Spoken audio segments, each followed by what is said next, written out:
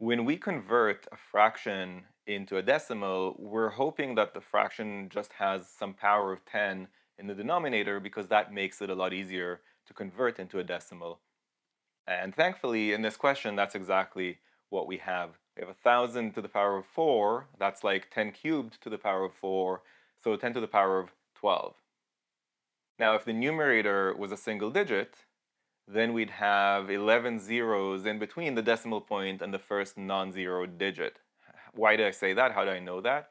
Well, I'm just working through a pattern in my head where if it was just, say, 3 over 10, that would convert into 0.3. So there are no zeros at all between the decimal point and the first non-zero digit. If it was 3 over 100, that would be 0.03. So with 100, or 10 squared in the denominator, we have a single zero between the decimal point and the first non-zero digit. And we can keep going and see that there's a pattern, right? If it was 3 over 10 cubed, or 3 over 1,000, that would be 0.003. So there you have two zeros. So it's always one fewer zero than the exponent on top of the 10 in the denominator. So if it was a single digit in the numerator with 10 to the power of 12 in the denominator, you'd have exactly 11 zeros between the decimal point and the first non-zero digit.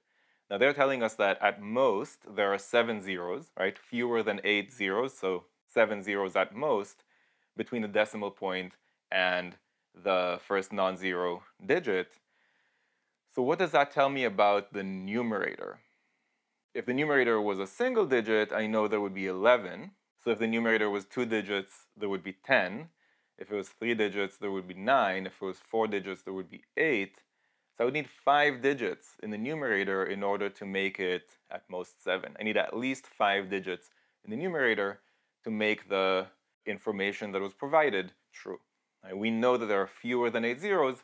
Now I made the inference that this means we have to have at least five digits in the numerator. Now looking at the answer choices, I'm going to have to do a bit of math there if I don't have these memorized. I actually do think we should have the first two memorized. So 3 to the power of 4 is 81, 5 to the power of 4 is 625. Neither of those is 5 digits or longer. Now the last one, 9 to the power of 4, that would be like 81 squared. Is 81 squared going to be a 5-digit number? Or is it going to be a 4-digit number? Well, I know that 80 squared is like 8 squared times 10 squared, so 6400. And 81 squared will just be slightly more than that. So we're still not quite in the 5 digits, and therefore I'm going to go ahead and pick answer choice A, which claims that none of these Roman numerals is possible. And we move on to the next question. If you found this video useful, go to quantreasoning.com for a lot more where that came from. You should also click that like button and let me know in the comments below what you'd like me to make future videos about.